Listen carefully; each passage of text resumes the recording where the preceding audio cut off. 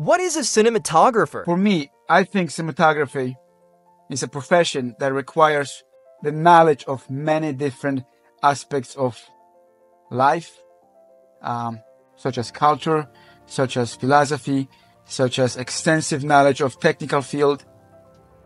But if you draw parallels between painter and cinematographer, and if you think that the painter has to create his own paint and mix the paint and then know which which brush to use, what type of a canvas to use, that's the technical aspect of being a painter.